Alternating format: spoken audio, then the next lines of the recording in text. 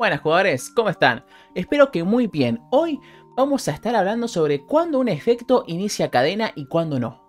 Para esto, recomendaría que vayan a ver mi video anterior a este, que es el video donde hablo sobre la estructura del texto de las cartas en Yu-Gi-Oh!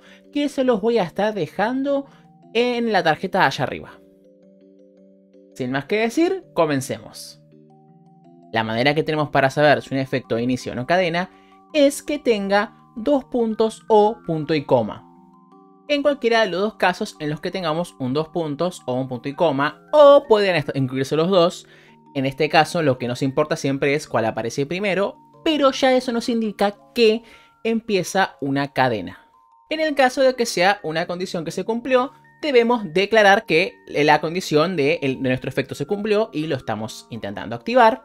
Y en el caso de que sea un costo, tenemos que declarar el efecto eh, realizando el pago del coste o eh, realizando los requerimientos que nos esté pidiendo la carta, ya sea seleccionar algunas otras cartas o realizar alguna acción. Lo anterior fue para ejemplos de efectos de monstruos. Para el caso de efectos de magias y trampas, estos siempre inician una cadena. Las magias y trampas siempre inician cadena al activar sus efectos. Por otro lado, tenemos los efectos que no inician cadena. En estos casos vamos a ver que no tenemos ni los dos puntos ni el punto y coma, es decir, no tenemos ni condición de activación y tampoco tenemos activación, sino que solo tenemos resolución. Lo que nos indica que la carta solo resuelve o aplica su efecto, sin necesidad de declararlo anteriormente. Y acá nuevamente les aclaro que a pesar de eso, las magias y trampas, a pesar de que no tengan condición ni activación, siempre inician una cadena al activar sus efectos. Perdón que lo recalque, pero esto siempre es muy importante recordarlo. Ya habiendo hecho esta introducción, vamos con ejemplos. Empezamos teniendo como ejemplo a Mervay Abyss Megalo, que nos dice que podemos invocarlo de manera especial de nuestra mano descartando dos monstruos de agua. Acá como podemos ver, el descarte de estos dos monstruos de agua al cementerio es parte de su activación, o sea, es parte de sus requerimientos, en este caso un costo. Por lo tanto, el primero hay que revelarlo en nuestra mano y pagar el costo descartando los dos monstruos de agua, y de esa manera iniciaría cadena. Siguiendo con los ejemplos de invocaciones desde la mano, tenemos a Tenshi Bishuda, que nos dice que puede invocarse desde nuestra mano si nosotros no controlamos monstruos de efecto en el campo. En este caso, su condición de activación es que no controlemos monstruos de efecto en el campo. Esto podemos verlo gracias a los dos puntos. Por lo tanto, nosotros revelaríamos a Tenshi Bishuda en nuestra mano para declarar su efecto y en ese momento iniciaría la cadena. En este caso no tenemos ningún costo para pagar o algún requerimiento. Y tenemos como otro ejemplo a Silvia Dragón, que en este caso al no tener ni dos puntos ni punto y coma, puede invocarse desde nuestra mano sin necesidad de declarar su efecto. Este efecto no inicia cadena. Otro ejemplo de un efecto que no inicia cadena es el de invocar a Black Luster en Void of the Beginning desde nuestra mano removiendo un monstruo de luz y un monstruo de oscuridad. Como podemos ver, aquí tampoco tenemos los dos puntos ni un punto y coma, por lo que el remover a el monstruo de luz y el monstruo de oscuridad no es un costo.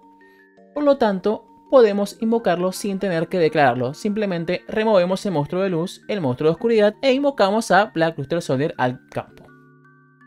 Ahora, antes de los siguientes ejemplos, vamos a hacer otra aclaración. Los efectos de monstruos continuos no inician cadena. Es decir, el momento en el que el monstruo empieza a estar en el campo empieza a aplicar su efecto sin necesidad de haber iniciado una cadena. Podemos ver esto ahora en los siguientes ejemplos. Para el caso de las magias y trampas continuas, su activación es lo que inicia cadena.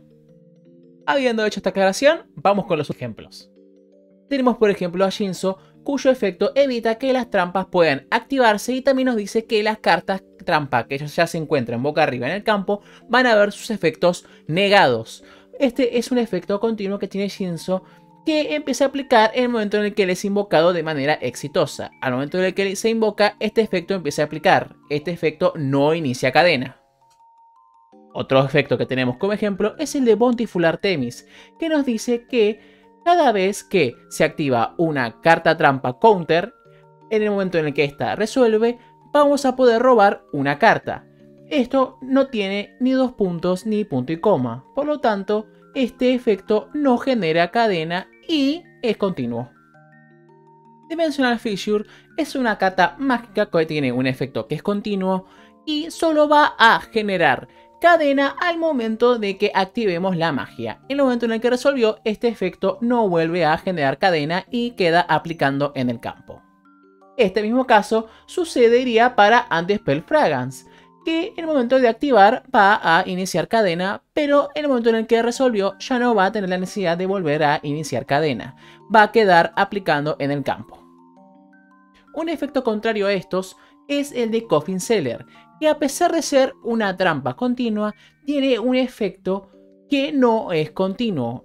La trampa va a quedarse en campo, pero cada vez que empiece a aplicar este efecto, va a iniciar cadena. O sea que inicia cadena en el momento en el que activamos la trampa y luego cada vez que se vaya a aplicar su efecto. Y ahora para terminar, les voy a explicar dos cartas que van a servir como ejemplo de efectos que no inician cadena y son efectos no clasificados, que en este caso solo aplicarían, sin necesidad de iniciar cadena. Es el caso de Return of the Dragon Lords, que en su segundo efecto nos dice que si uno o más monstruos dragón en nuestro control fuesen a ser destruidos por batalla o por un efecto, podemos desterrarlo desde nuestro cementerio para evitar esa destrucción.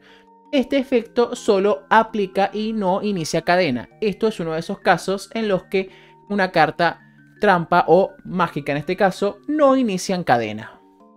Y un ejemplo con un monstruo sería el de Salamangreat Palelinx, que también tiene su efecto de removerse desde el cementerio para evitar la destrucción de uno o más cartas Salamangreat.